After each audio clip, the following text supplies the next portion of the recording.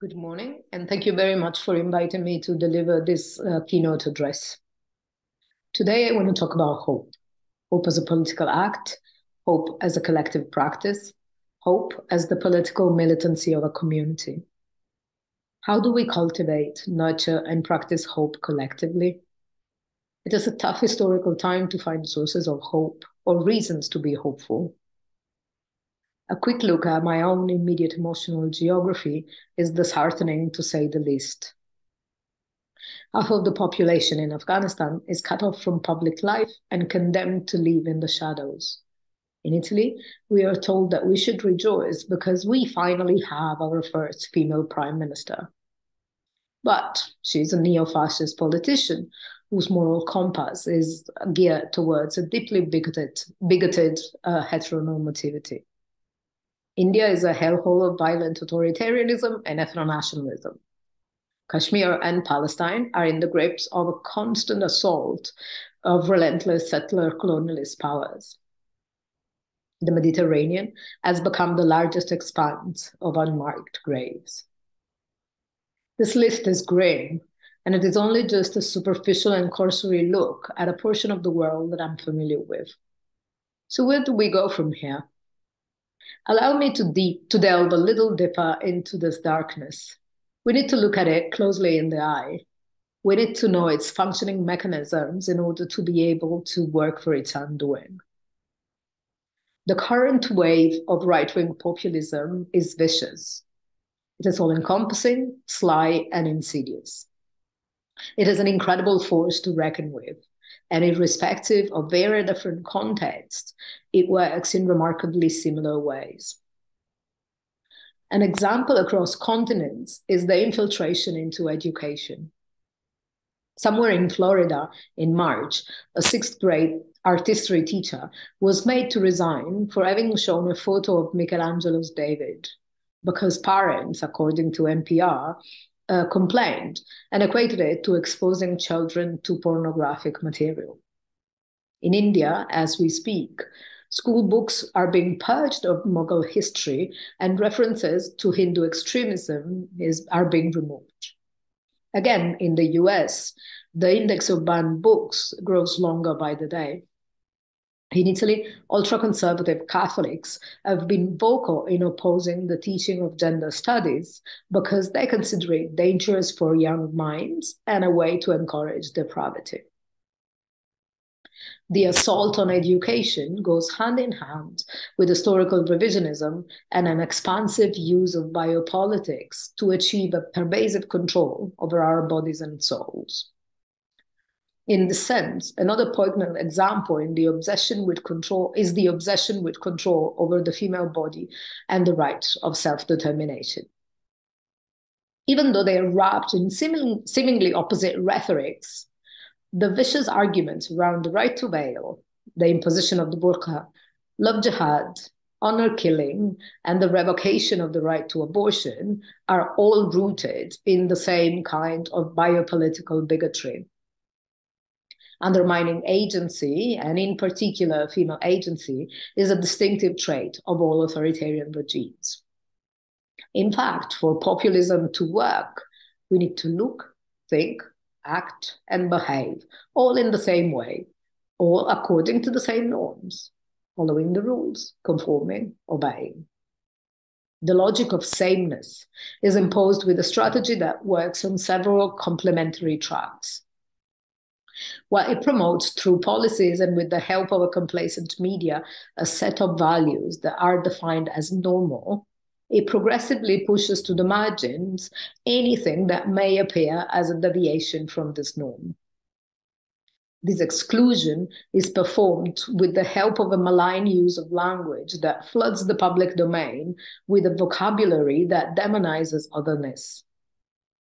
The strength of populism is its capability to use simple words to instill and perpetuate fear, to brew paranoia, and to cash political points and obedience from this edgy atmosphere. As they fabricate enemies and emergencies by appealing to the most primal instincts, populist regimes demand and obtain loyalty. Here, it seems that we've come for full circle. We've reached a dead end, a cul-de-sac with no way out. We're back to the beginning, back to the initial question what lays ahead? How do we cultivate, nurture, and practice hope collectively? It takes immense courage to be hopeful, hopeful at this point in history. But this is not a call for heroes. I find hyping uh, ordinary goodness as heroism just as bad as fabricating enemies. Doctors are heroes, firefighters are heroes, activists are heroes. No, they're not. They're just good people who put their heads down and wake up every day doing what they're meant to do and doing it properly. Singling out act of, act of, act of heroism only plays into hedonistic individualism and unmoors communities. Suchitra Vijayan and I have been working for a couple of years on a book on Indian political prisoners. The title is How Long Can the Moon Be Caged? Voices of Indian Political Prisoners, and it will come out in August. For this book, we spent time with families of political prisoners and former political prisoners uh, themselves. A common feeling was the uneasiness that they felt at being turned into symbols icons, in other words, in being turned into heroes. We were told time and again this is not about me. This is about our struggle. This is not about me. This is about the cause we are fighting for. To be clear, I'm not talking about self effacement here. I'm talking about moral clarity. This is why I'm taking I'm saying that it takes courage to practice hope because it is a selfless act of community that is not intended to make you viral on social media.